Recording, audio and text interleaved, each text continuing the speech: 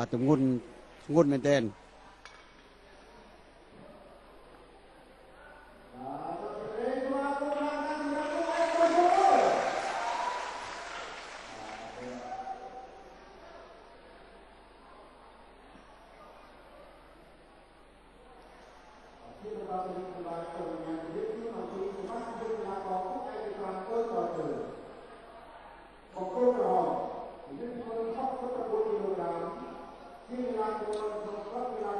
យកឱកាសនេះសូមអរគុណសាជាថ្មី បាទដល់ក្រុមហ៊ុនដែលបានឧបត្ថម្ភធំដល់កម្មវិធីកីឡាបដាល់ថ្ងៃអាទិត្យរបស់ប៉ូលី5បាទគឺក្រុមហ៊ុន K Cement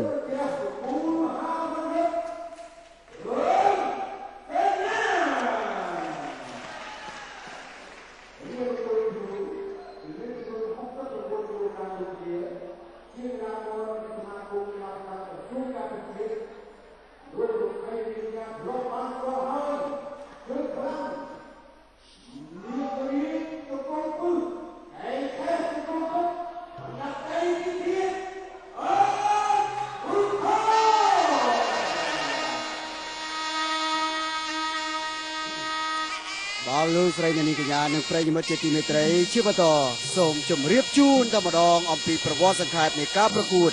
របស់គូឯកទី5បងគូក្រហមមានឈ្មោះថាព្រំសូមណាងបាទគេមានទម្ងន់69គីឡូក្រាមកម្ពស់1ម៉ែត្រ75មានស្រុកកំណើតនៅភូមិ ក្រាំក្រូចបាទនៅភូមិក្រាំក្រូចឃុំក្រាំងដេវាយស្រុកភ្នំស្រួចខេត្តកំពង់ស្ពឺប្រវត្តិប្រកួតរបស់កីឡាករព្រំសំណាងបានចំនួន15ដងឈ្នះរហូតដល់ទៅ14ដងបាទអេចង់ឈ្នះទាំងអស់ទៅហើយបាទ ប្រកួត15ដងឈ្នះ14ដងចាញ់ម្ដងមិនដែលស្មើទាល់តែសោះលាប់ផ្ដួលគូប្រកួតឲ្យទន្លប់បាន11ដងបាទខ្លាំងមែនទែនបាទ14ដងគូប្រកួតសន្លប់11នាក់ហើយហ្នឹងបាទឈ្នះ14នាក់អញ្ចឹងមានតែ3នាក់ទេដែលកីឡាករព្រំតំណាងឈ្នះដោយពិន្ទុខ្លាំងមែនទែនបាទហើយការប្រកួតចុងក្រោយឈ្នះវ៉ោយសុធុនជើងខ្លាំងទៀតបាទ កីឡាឈ្នះពិន្ទុវ៉ោយសុធុនបាទប្រកួតចុងក្រោយកីឡាករព្រំតំណាងគេមកពីក្លឹបកងពលតូចតបពិសេសឆាត់យូ911កូនសិស្សរបស់លោកហងស៊ឿនបាទគេថ្វាយបង្គំគ្រូតាមរបៀបរំលឹកគុណគ្រូបាទឥឡូវនេះសូមបងប្អូនអារម្មណ៍មកតាមដានប្រវត្តិសង្ខេបនិងបទពិសោធន៍នៃការប្រកួតរបស់បង្គោលខៀវបាទគ្រាន់តែអស់លោកអ្នកបានទស្សនាដឹងថារៀមច្បងទៅហើយ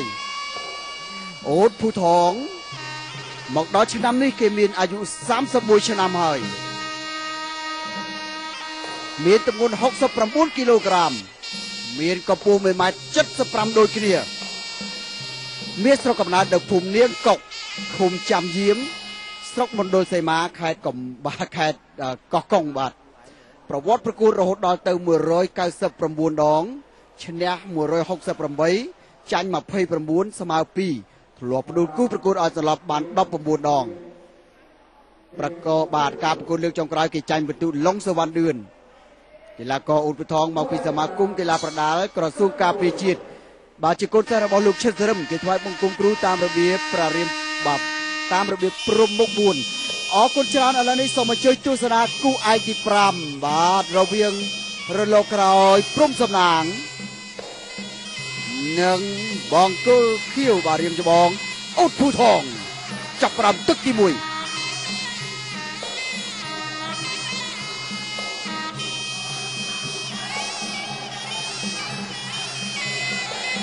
ាទកັບចានរបស់ព្រំសំណាង បាទគេមកពីទ័ពឆាត់យូងយ៉ាងហើយប៉កែណាស់បាទខាងដៃអាកាសបាទផ្ទៃរៀបមិនសូវវាយចេញប្រមាណទេ កាប់ចានមកពីលើអូតភូថងក៏មកពីខាងលើដែរអាយ៉ាអូសម្រាប់ខ្លួនបាទតែបាទខាងដៃអាកាសដៃស្ដាំមួយដៃទៅដៃស្ដាំអូរៀមច្បងពោពេញទៅដោយបត់ពិសោធន៍និងអាចកំបាំងបាទដរិចស្ដាំមកដៃចូលផ្ទៃមុខរបស់អូនពូថងអូនពូថងផ្សងសងមកវិញបាទកែងបត់ស្ដាំបាទរាប់8 បាទបដូរផ្ដាច់8បដូរបាទបាទសតតកែងឆេះជង្គង់ទឹកបាយបាទបាសតាណាគេថាក្រឹបទៅនឹងឥឡូវនេះបាទព្រំសំណាងធ្លាត់បន្តិចឥឡូវគេប្រុងប្រយ័ត្នហើយសំណាងប្រវត្តិប្រកួត15ដងឈ្នះ14ដងផ្ដួលគូប្រកួតឲ្យត្រឡប់11ដងបាទចាប់កាច់ ប្រកួតលើកចុងក្រោយបាទឈ្នះពិន្ទុកីឡាករជើងខ្លាំងវ៉យសូធុនក៏ជើងចាស់មករូបដែរបាទ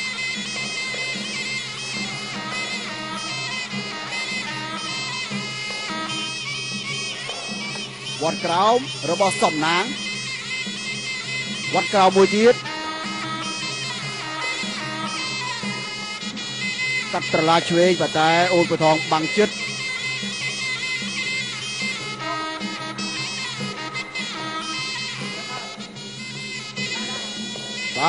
នុញ្ញាតឲ្យប្រកួតជាបន្តអញ្ញាកណាមានអ្នកនៅខាងក្រោមស្រែកសលេងរំខានកាត់ត្រឡាស្ដាំផាំងមកជើងរបស់អូនជុកកងហោះសម្រាប់កាត់ចានកែងស្ដាំអូអីបាទរលកក្រោយបោកបក់បែកផ្កាត្រែងបន្តិចហើយរលកមុនមួយមួយបាទចង្គង់ស្ដាំប៉ុន្តែពេលដែលបោកផ្ទប់នឹងច្រាំងលន់សូសម្បើមណាស់ ដោយអស់លោកអ្នកបានឃើញបានទស្សនាអំបញ្ញមិញកន្លងមកស្រាប់បកមួយសិនយ៉ាអូនពូថងចង់ឆ្ងល់បាទជួបជាមួយជើងថ្មីបត់ពិសោធន៍ថ្មីបច្ចេកទេសក៏ថ្មីដែរតែស្ដាំរបស់អូនមួយទៀតផុតអូហូឡងនឹងខ្សែរឹងទៅវិញបាទចំទឹកទី1ទៅហើ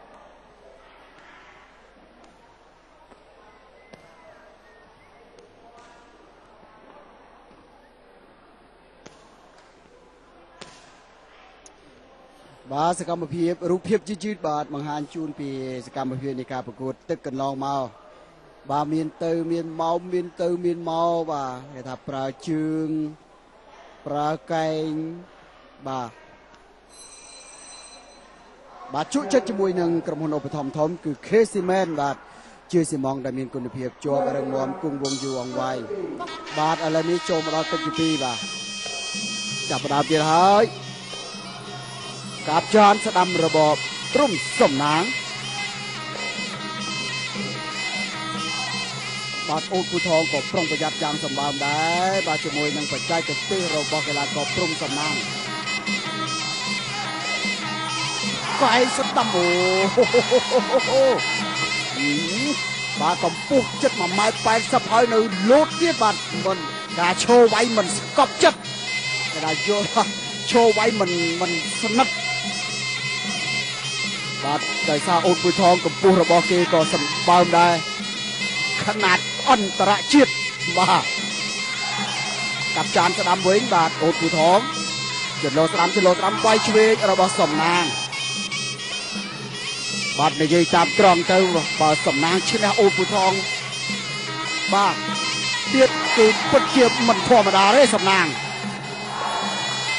តែយ៉ាងណាមិនទាន់ដឹងទេបាទការប្រកួតទើបតែចូលមកដល់ទឹកទី2បាទអូនពូថងបងប្អូនស្គាល់ហើយល្បីថារឹងណាស់ការវាយរបស់គេមិនលឿនមិនញាប់ពេកទេប៉ុន្តែមួយមួយហើយអូនពូថងទោះបីថាគូប្រកួតវាយចូលគោលដៅយ៉ាងណាក៏ដោយអូនពូថងនៅតែរបៀបជាលក្ខណៈគេហៅថាមួយមួយដដែលឥឡូវនេះសំណាងសន្ធាប់ហើយទឹកទី2ដើម្បីចង់ឲ្យអូនពូថងរាប់ម្ដងវិញបានឬមិនបាន បាទការពីទឹកទី1កែងបត់ស្ដាំរបស់អូនពូថងបាទធ្វើឲ្យបាទព្រំសំណាងរាប់ម្ដងដល់ទៅ8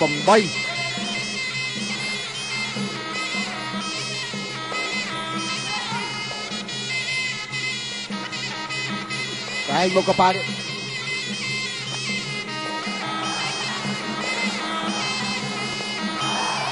បាទសធប់ឆាក់ ស្ដាំរបស់សំណាងចាប់ទៅរស្ដាំសងរបស់អូននេះវត្តបន្ទុយមួយទៀត14រៀលជាលោកតាំងណាំស្រុនបាទជក់ចិត្តមែនតើហើយអ្នកទស្សនាបាទបន្លឺសម្លេងចាក់ដៃនឹងស្រែកយ៉ាងកងរំពងកាត់ចាន់ស្ដាំបាទជាសញ្ញាបញ្ជាក់ថាជក់ចិត្តណាស់ជក់ចិត្តណាស់ហាហាចុងកងស្ដាំរបស់អូនស្ដាំសងឆ្វេង ទល់ទុកជាប់បាទសំខាន់ណាស់ផ្នែកកម្លាំងបាទចុងកងឆ្វេងរបស់អូនស្ដាំសងរបស់ព្រំសំណាង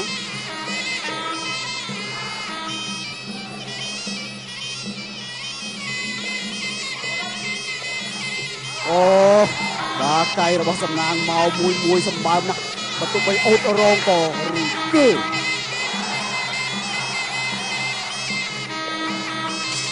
បាទចប់ទឹកទី2ទៅហើយ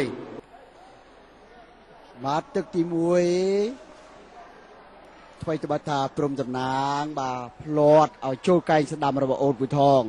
ក៏ប៉ុន្តែចូលមកដល់ទឹកទី2បាទទោះបីថាមិនទាន់មានឱកាសធ្វើឲ្យអូនពូថងត្រូវបានអាជ្ញាកណ្ដាលរាប់ម្ដងវិញយ៉ាងណាក៏ដោយចុះបាទប៉ុន្តែព្រំតំណាងឃើញថាសម្រុកយ៉ាងសន្ធាប់សម្រុកយ៉ាងសន្ធាប់សម្រាប់ខ្លួនប្រឹកកែងបត់លោតដើម្បីផ្កាប់ចាននាគវត្តកន្ទុយ កែងបកគ្រប់បច្ចេកទេសតាមក្បាច់បុរាណខ្មែរបានបញ្ចេញយ៉ាងអស្ចារ្យតែយ៉ាងណាក៏ដោយអូតភូថងក៏នៅតែជារលកមុនដ៏រឹងមាំបាទប៉ុន្តែនេះគ្រាន់តែជាសកម្មភាពដែលបានកន្លងហួសទៅហើយនៅសល់3ទឹកទៀតបាទតើសកម្មភាពយ៉ាងណាអត់ទាន់ដឹងដែរបាទឧបត្ថម្ភធំដោយក្រុមហ៊ុនបាទ KCMN ជាស៊ីម៉ងដែលមានគុណភាពជាប់រឹងមាំគង់វង្សយូរអង្វែង សាកោបឋមទីស្រាកីឡាកាមីបាទសម្បកនឹងពូវៀនកំម៉ូតូម៉ាឌីស្តូនផងដែរបាទ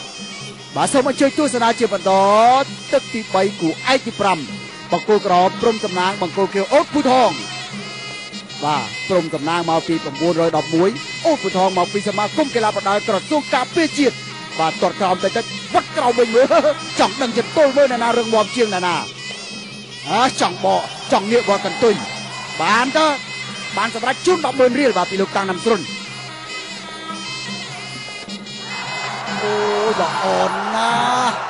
ល្អមែនតើបាទល្អបាទចូលមួយដៃស្ដាំនេះល្អមែនតើបាទគេថាខ្ពាកដួលខ្ពុកឥឡូវនេះអូ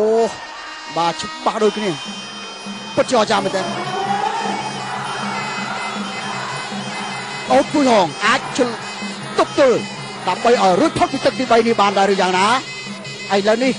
បានការព្យាយាមរបស់កីឡាករព្រំកម្លាំងចង់ឲ្យអូពុយថងរាប់នោះឥឡូវនេះបានហើយម្ដងហើយអូពេញពេញបាទកាយមុខកប៉ាល់បាទអាចកណ្ដាលបំបែកសងវិញហើយអូនបដងជួយស្ដាំ អូនបដងប្រឹកទប់សងវិញអាចកាកណារាប់បាទកណ្ដាប់ដៃដូចជាបាទបានជម្រាបជូនអញ្ចឹងអូនពូថងជាកីឡាករមួយដែលអស់លោកអ្នកស្គាល់ថាគេពិតជាមានស្មារតីរឹងបាទហើយរាងកាយរឹងមាំស្មារតីរបស់គេពិតជាមូលល្អណាស់គេបានសងមួយដៃស្ដាំវិញធ្វើឲ្យបាទបដូរកណ្ដាប់ដៃអឺអ្នកណារឹងតើរលកក្រោយរឹងឬក៏រលកមុនរឹងជាងណាទឹកទី3ហើយ ណែបាទអាចណាកណារាប់ម្ដងទៀតបាទចូលពេញមួយដៃមួយដៃបាទចូលរួមចំណែកក្នុងការសោកស្ដាយជាមួយនឹងព្រំសំណាងដែររលកក្រោយនិយាយអស់ពីក្នុងចិត្តសូមអធិស្ឋានគេត្រេកអរនឹងជ័យជំនះមានមោទនភាពផ្លិចការពារប៉ុន្តែមិនទាន់អីទេបាទនេះបាទត្រេកអររលកក្រោយប៉ុន្តែនៅមានទៅមានមកបាទក៏កាប់ដៃអូនពូថងនៅតែមានទម្ងន់ ឥឡូវនេះព្រំសម្រាងកំពុងតែប្រមូលស្មារតីវិញតើអាចទប់ទល់បានទេទឹកទី3បាទបាទអឺអឺអឺឥឡូវនេះទប់ស្មារតីវិញបាទបាទព្រមសម្រាងផ្លត់បន្តិចបាទអបាញ់មិញនេះធ្វើឲ្យកណ្ដាប់ដៃបាទនឹកគិតស្មានថាអូនពធងមិនអាចវាយសងវិញបាន ប៉ុន្តែមិនអីទេបាទជាមេរៀនបទពិសោធន៍សម្រាប់កីឡាកររលកក្រោយសងវិញគោទុនបាទទឹកទី3ពិតជាអូសូមអបអសាទរបាទសូមកុំភ្លេចទឹកទីធ្វើឲ្យព្រមសម្រាងរកវិញសកម្មភាពនៃការប្រកួតបែបនេះអស់លោកអ្នកមិនងាយនឹងមានឱកាសបានជួបទេបាទកម្រមានកីឡាករណាដែលផ្ដួលទៅផ្ដួលមកវាយទៅវាយមកសងទៅសងមកបាទយូរយូរម្ដងអស់លោកអ្នកទើបតែបានជួបរវាងការប្រកួត អូតពូថងនិងព្រំសំណាង បាទអ្វីដែលខ្ញុំបាទយល់ជាទស្សនៈខ្លួនឯងទេឃើញថាព្រំសំណាងក៏រៀងដូចថាបត់ពិសោធន៍គេថារលកក្រោយរៀងដូចថាសบายចិត្តបន្តិច ហើយក៏គិតស្មានមិនដល់ដែរពីព្រោះថាព្រំសំណាងជួបគូប្រកួតកន្លងមកតែព្រំសំណាងបដូរឲ្យសន្លប់ហើយមិនងាយកីឡាករណាដែលអាចក្រោកមកតតាំងវិញបានទេប៉ុន្តែប៉ះអូតពូថងបាទប៉ះអូតពូថងបាទ ឥឡូវអស់លោកលោកស្រីរូបភាពយឺតយឺតក៏បង្ហាញជូនឥឡូវនេះសកម្មភាពនៃការប្រកួតទឹកជាបន្តក៏ចាប់ផ្ដើមទៀតហើយបាទឥឡូវចាំមើលកីឡាករទាំងពីរពោពេញទៅដោយគេហៅថាប្រាជ្ញាដូចគ្នាបាទក្រោយពីឲ្យទឹកទី3ហើយសុទ្ធតែបានមានគេថាដឹងបច្ចេកទេសគ្នាទៅវិញទៅមកដូច្នេះពឹងទៅលើកម្លាំងអ្នកណារឹងមាំជាងអ្នកណាអ្នកណាបណ្ដោយឲ្យផ្លាត់គឺអ្នកនោះពិបាកហើយបាទមិនថាអូនពូថងឬក៏ព្រំកម្លាំងទេ បាទដូចខ្ញុំបាទបានជម្រាបជូនហើយសុទ្ធតែកណ្ដាប់ដៃមហាទងន់ហើយនឹងកែងឆេះជង្គង់ទឹកដូចគ្នាបាទមិនដឹងថាយ៉ាងណាយ៉ាងណីទេបាទចូលមកដល់ទឹកទី4កាប់ចានស្ដាំសងវិញដែរព្រំកម្លាំងសពអូអូក៏សំវិញចំចំគោលដៅដែរអូក្បាច់គ្រប់បែបយ៉ាងរបស់ព្រំកម្លាំងបានវាយចេញមកហើយអូនពូថងសងតាមរបៀបជើងចាស់ បាទមិនពុះកញ្ជ្រោលពេកតែក៏មិនតក់ស្លុតពេកដែរចំណែកឯព្រំកម្លាំងរបៀបរលកក្រោយគេហៅថារៀងបោកបែកផ្កាត្រែងបន្តិចហើយលទ្ធផលយ៉ាងណាមិនទាន់ដឹងទេអស់លោកអ្នកបាទធ្វើឲ្យប្រិយមិត្តទាំងសងខាងភ័យអភ័យអបងម៉ាំងម៉ងម៉ាំងមើលបដូរមើលអ្នកណារឹងជាងអ្នកណាហោះបាទអ្នកណាគោអ្នកណាមិនគោអ្នកណាទៅអ្នកណានៅបាទ ក្រុមកំណាងក្រោយពីសន្ទប់អូនពូថងមិនទៅណាទៅណីរៀងថយក្រោយខ្លួនឯងដែរបាទ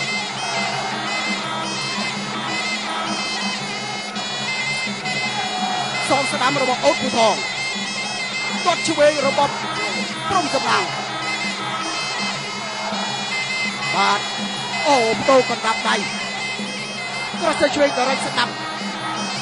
បាទអធិស្ឋានហេអ្នកមុខបាំងអត់បាទអ្នកអត្ថាធិប្បាយ អូសំទៅសងមក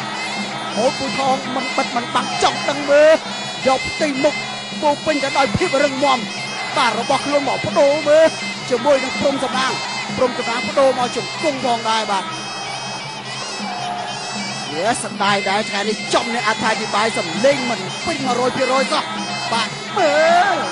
បាទជួយវិញ បាទអឺបាទឱកាសរបស់អូពូថងធ្វើឲ្យព្រំកម្លាំងឆ្ងល់វិញហើយបាទបានជាខ្ញុំបានជម្រាបជូនដូចនេះបានជាថាព្រំកម្លាំងឆ្ងល់ពីព្រោះព្រំកម្លាំងបៃពេញពេញមុខអូនពូថងអូនពូថងអត់មានទៅណាទៅណីណែបានគឺតែសក់ណែខ្លួនអត់អង្គើទេបាទអីណាបាទណែ បាទព្រំសម្លាងវាយ3 4ដៃអូនពូថងសងមួយដៃមកឡើងងាក់ទៅក្រោយបាទចប់ទឹកទី4ទៅហើយបាទកន្លងមកអស់លោកលោកស្រីអ្នកនាងកញ្ញាបាទតែងតែសំណុំពរតែងតែចង់ឃើញការប្រកួតរបស់អូនពូថងប៉ុន្តែគណៈកម្មការរៀបចំការប្រកួត បាទថាពិបាករកគូបាទឥឡូវនេះអូនពូថងក៏សប្បាយចិត្តដែរបាទបានរលកក្រោយកែ បាទធ្វើឲ្យសរសៃសរសងរបស់អូនពូថងលែងស្ពឹកលែងស្រពុនទៀតហើយបាទពិបាករកគូប្រកួតឥឡូវនេះគេចំហើយបាទចំរលកក្រោយព្រំកម្លាំងពុតជាអស្ចារ្យមែនទែនឥឡូវនេះបាទទាំងរៀមច្បងទាំងរលកក្រោយកំពុងតែចង់ការពារចង់បង្ហាញសមត្ថភាពរៀងរៀងខ្លួនឥឡូវនេះបាទនៅសល់មួយទឹកទៀតបាទដាច់ប្រាច់ព្រាត់បាត់បដៃស្ដាំបដូអូចូលបដៃស្ដាំរបស់បាទនេះ បន្ថយបាទឲ្យទឹកម្ដងម្ដងគេថាព្រំសំណាងតែតែប្រើកម្លាំងយ៉ាងពេញទំហឹងទៅលើកីឡាករអូសពូថងប៉ុន្តែសម្រាប់អូតគេនៅតែតតាំងបន្តការប្រកួតបានបាទមួយប្រើសម្រុករបស់សំណាងបើអូតអាចទប់ទល់បានបានបើទប់មិនបានពិតជាមិនអាចឥឡូវនេះអូតគេអាចទប់បានហើយរកឱកាសសងមកលើកីឡាករព្រំកម្លាំងវិញ បងម៉ាំងយ៉ាងម៉េចយ៉ាងណាយ៉ាងបាទសងមួយមួយធ្ងន់បាទក្រុមសំណាងថយក្រោយបាទវាយបណ្ដាថយក្រោយបណ្ដាលួចសរសើរក្នុងចិត្តបណ្ដាថារៀមច្រកអូនពូថងពិតជារឹងមាំតែមួយដៃមិនអីពីរដៃមិនអីប្រាំដៃមិនអី6ដៃមិនអីតើ13 14 15ដៃយ៉ាងណាដែរបាទរៀងទុនបន្តិចដែរអូនពូថង តែនៅតែមិនទាន់ក្រៀកថយក្រោយអូបាទមកប្រមាណមកប្រមាណចេញមកអស់អាយ៉ា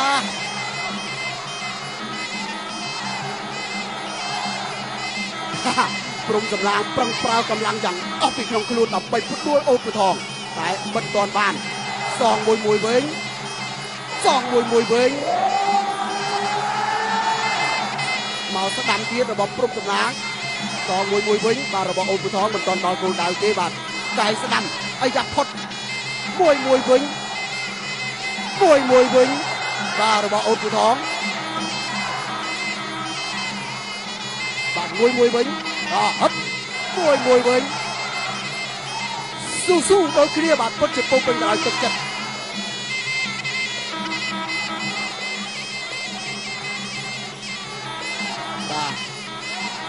បាទសូមសរសើរពីក្នុងចិត្តដោយត្រង់បាទទាំងពីរនាក់ពិតជាស្វិតស្វាញមែនទែន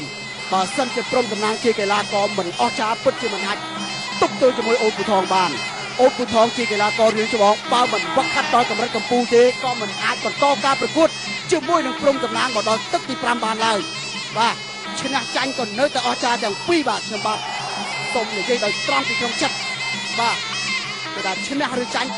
គឺជាកីឡាករដែលខ្លាំងទាំងពីរតែម្ដង លទ្ធផលស្មើក៏មិនដឹងឈ្នះក៏មិនដឹងបាទឥឡូវនេះព្រំតំណាងគេពិតជាមានមោទនភាពណាស់ដែលគេបាន បាទជួបជាមួយរៀមច្បងអូតពូថង បាទពីព្រោះថាអូនពូថងអូនពូថងឡើងប្រកួត បាទនិយាយទៅតាំងពីព្រំតំណាងនៅរត់លេងមិនទាន់ស្គាល់ថាអ្វីទៅជាកីឡាប្រដាល់ក្បាច់បុរាណខ្មែរបាទឥឡូវនេះពីមុនគេធ្លាប់តែមើលអូនពូថង ឥឡូវគេមានឱកាសមានកិត្តិយសបានបើជួបជាមួយនឹងកដដាត់ដៃបច្ចេកទេសរបស់អូនពូថងចឹងពិតជាពេញពោទៅដោយមោទនភាពសម្រាប់បាទកីឡាករព្រំសំណាងហើយក៏ជាកិត្តិយសសម្រាប់រៀមច្បងដែរដែលមិនងាយមានគូណាទេបាទអូតពូថងនិយាយថាអើយនៅយូរយូរទៅចង់ស្ពឹកអស់ហើយឥឡូវគេបានជួបជាមួយរលកក្រោយនេះបាទពិតជាមានមេរៀននិងមានគូប្រកួតដ៏ពេញចិត្តរបស់អូតពូថងលទ្ធផលយ៉ាងម៉េចដែរបាទ